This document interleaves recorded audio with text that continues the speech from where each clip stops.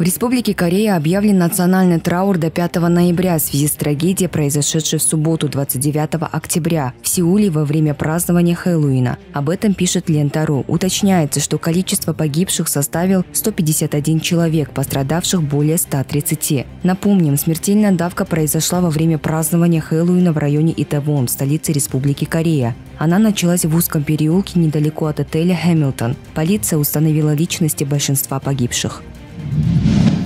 Президентом Бразилии по результатам второго тура выборов стал 77-летний Луис Инасио Лула да Силва. Об этом сообщают бразильские СМИ. Завершающий этап президентских выборов состоялся в воскресенье 30 октября. Новоизбранный глава государства представлял левую партию трудящихся. Он набрал более 50% голосов. Его соперник, действующий глава государства Жаир Болсонару, получил поддержку более 49% избирателей первом туре, состоявшемся 2 октября, Лула да Силва опередил Жаира Болсонару с менее существенным отрывом. В Бразилии, самой крупной стране Латинской Америки, избирательным правом обладает более 156 миллионов человек. В выборах приняло участие порядка 118 миллионов граждан физкультурно-оздоровительном комплексе жилмассива Арчебищик состоялось торжественное открытие школьной лиги 2022-2023 года. Об этом сообщили в пресс-службе мэрии столицы. На торжественное открытие приглашены юные спортсмены, призеры районных и городских соревнований из числа воспитанников средних общеобразовательных школ Свердловского, Первомайского, Октябрьского и Ленинского районов города. Открытие сопровождалось концертной программой звезд кыргызской эстрады и показательной игрой юных футболистов. Отмечено, что в рамках школьной лиги соревнования проводятся по 11 видам спорта, где принимают участие более 100 частных общеобразовательных школ и гимназий города Бишкек с общим охватом около 15 тысяч школьников.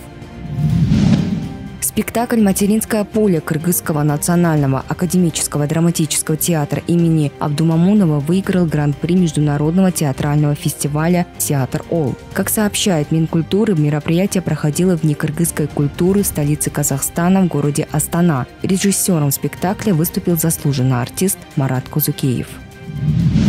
Цель моего творчества, а следовательно и моей жизни, способствовать каждому полюбить кыргызский народ и Кыргызстан так, как я сам люблю этот народ и его солнечную страну. Вот так бережно, с любовью, народный художник СССР Семен Афанасьевич Чуйков высказывался о своей родине – Кыргызстане. В честь празднования 120-летнего юбилея выдающегося живописца в Музее изобразительных искусств имени Гапара Айтиева состоялась конференция – в мероприятии приняли участие известные писатели, художники, деятели культуры и искусства.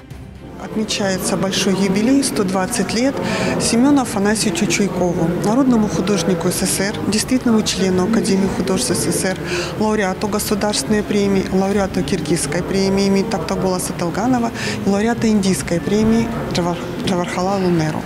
И мы подготовили УДМ и мемориальный дом музея Чуйкова, подготовили большие мероприятие к этому событию.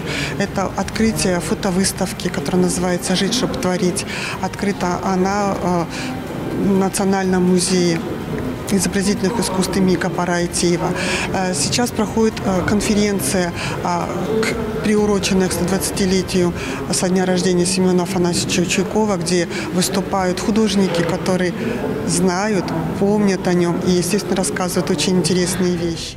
Одной из его легендарных картин является «Дочь советской Киргизии». Изображенная на нем сельская девушка с книгами в руке и в красной повязанной на голове косынке символизирует свободу и уверенность всех советских людей Кыргызстана. Полотно получило огромную популярность во всем Советском Союзе. Сразу после создания картина была передана в Третьяковскую галерею, где и хранится по сей день. Через два года специально для Национального музея искусств имени Гапара Айтиева художник написал копию, почти не отличающуюся от оригинала. Как он сам вспоминал, он всю жизнь писал наших тружеников. И кыргызские долины, и кыргызские горы. Только один портрет он написал русского человека. И то оказалось, это его свой портрет.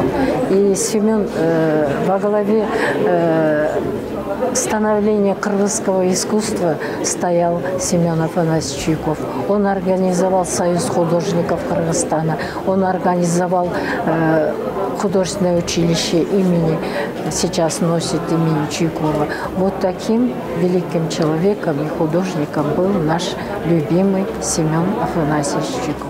С именем Чуйкова связаны зарождение, развитие и наивысшие достижения изобразительного искусства советского Кыргызстана. Выдающиеся творческие достижения Чуйкова принесли ему признание не только в нашей стране, но и за рубежом.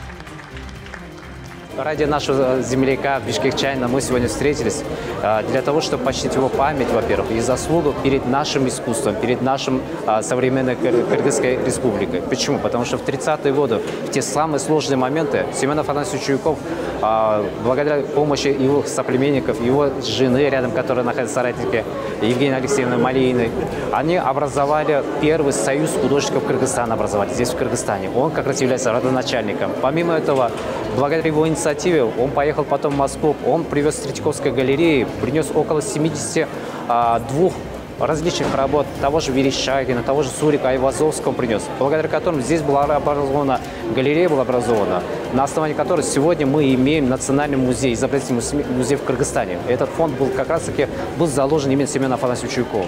Последние годы жизни Семен Афанасьевич провел в России. Чуков прожил 80 лет. Умер в Москве 18 мая 1980 года. Похоронен на Кунцевском кладбище.